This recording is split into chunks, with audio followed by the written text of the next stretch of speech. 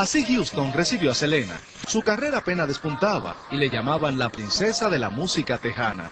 Pero con el paso de los años se ganó el título de rey.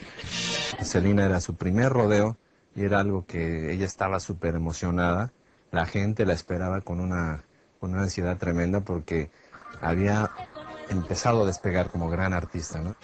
José Enrique conversó con Selena tres minutos, el tiempo suficiente para que ella le contara todos los planes que tenía con su carrera. Ella estaba, esperaba mucho de, de, de, la canción, ¿no? de, su música, y tenía temor a que a lo mejor el público no la iba a recibir bien en el Astrodome, porque era un lugar tan grande, ¿no?